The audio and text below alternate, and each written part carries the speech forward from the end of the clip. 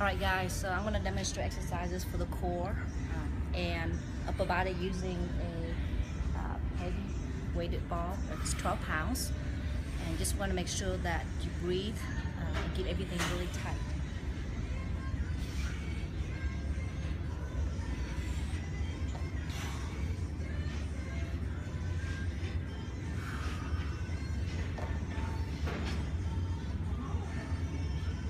Walk around the front left, get another view?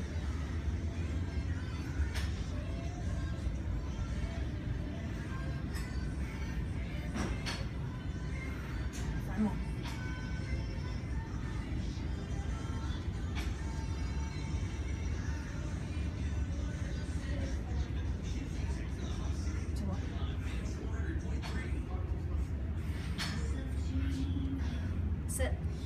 Guys, this morning I'm going to demonstrate exercises for core and um, chest and arms and also lats with the decline push-up alternating with a single dumbbell row. Make sure you keep your core real tight and breathe. You can just kind of pan around.